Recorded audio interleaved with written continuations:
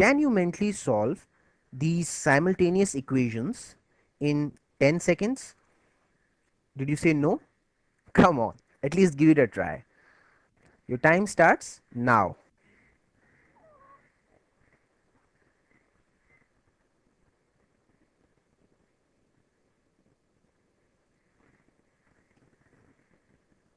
Your time is up. The correct answer is x equal to 6, y equal to 2. Let me first tell you the usual way of solving the simultaneous equations. But before I do that, let me give you a brief introduction of algebraic equations. Alright. So, anything that has an equal to sign is called an equation. Now, equation has different parts. The alphabets that you are seeing x and y, they are known as variables. Alright. This number that you are seeing here is known as a constant. And this 2 and 3 that you are seeing are known as coefficients. Basically, they are numbers that are put before the variables. Alright. When there is no number put before a variable, the coefficient is always 1 but we don't write 1 alright it is understood that it is 1. Now let's see the usual way of solving the simultaneous equations. Now there are a couple of ways for solving simultaneous equations like elimination method, substitution method. I would be using elimination method to solve these equations the usual way. Basically in elimination method all we try to do is eliminate one variable out of the two variables like x and y. So, one variable would be eliminated. How? By making the coefficients equal. Alright. So, basically we cross multiply the coefficients. Alright. So, the coefficient of this x is 2. So, I multiply this 2 here and the coefficient of this x is 1. So, I put 1 here. So, let us put these equations here. So, 2 times x is 2x, 2 times 2y is 4y and 2 times 10 is 20 alright and multiply this equation with 1 so it would be 2x plus 3y equal to 18 now to eliminate you need to subtract. So change the sign. This is the standard procedure. Alright so 2x minus 2x will cancel out.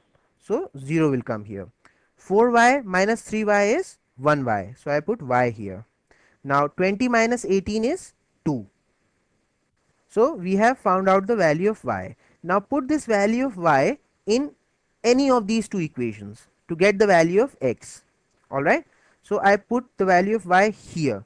So I would get a new equation x plus 2 times 2 isn't it because this y will become 2 so it will become 4 equal to 10 alright now subtract 4 from both the sides so minus 4 here minus 4 here so, this thing gets eliminated and you get x equal to 6 and that is what the answer is x equal to 6 y equal to 2. As you have just seen this usual way is indeed very long and it will require a lot of skill and talent to be able to do mentally with this method. You can give it a try but wait there is a better way of doing it.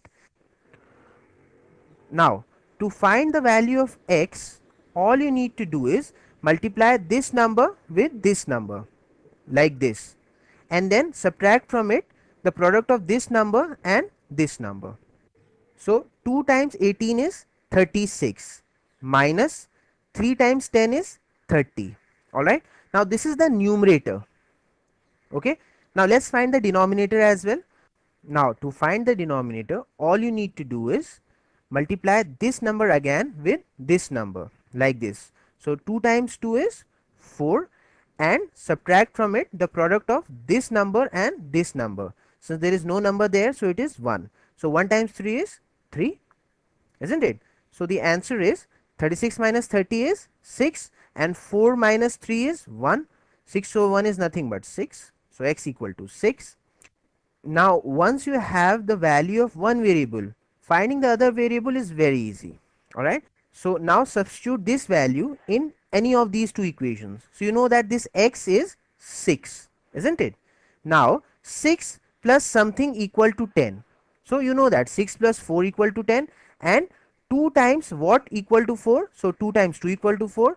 So, y equal to 2 that is what your answer is. You can do this mentally okay. So, let us do it again and this time mentally. So, to find x all you need to do is multiply this with this. So, 2 times 18 is 36 and then subtract from it the product of this and this. 3 times 10 is 30 36 minus 30 is 6 isn't it?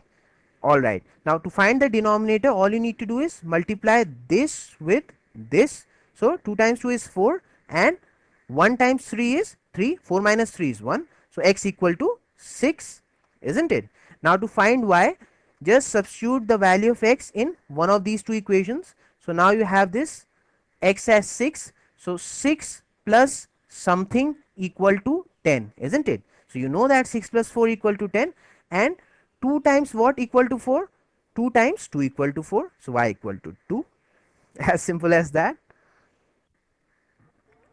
Okay. So now let's solve this using the crisscross technique of solving equations. Again to find the value of x all you need to do is multiply this 2 with 11 and then subtract the product of this 3 and 7 isn't it? So 2 11 times is 22 minus 3 7 times is 21 22 minus 21 is 1 isn't it? This is the numerator. What would denominator be? 2 times 2 is 4 and 1 times 3 is 3 4 minus 3 is 1 so x is 1 here.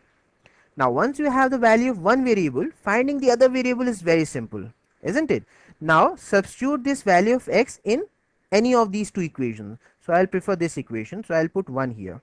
All right now you know that 1 plus something equal to 7 so you know that it is 6 1 plus 6 equal to 7 so 2 times what equal to 6 2 times 3 equal to 6 so y equal to 3 and there you have solved the equation. Now isn't that easy? In fact algebra is the easiest branch of mathematics. So x equal to 9 times 11 is 99 and 2 times 47 is 94 9 and 99 minus 94 is 5 this is the numerator. To find the denominator 9 times 1 is and 4 times 2 is 8 and 9 minus 8 is 1 so x equal to 5 now once you have this x so put it in any of these two equations. This one would be much better. So put it here. Now this is 5 so 5 plus what equal to 11 you know that 5 plus 6 equal to 11 so 2 how many times is 6 2 3 times is 6 so y equal to 3 that is your answer. X equal to 5 y equal to 3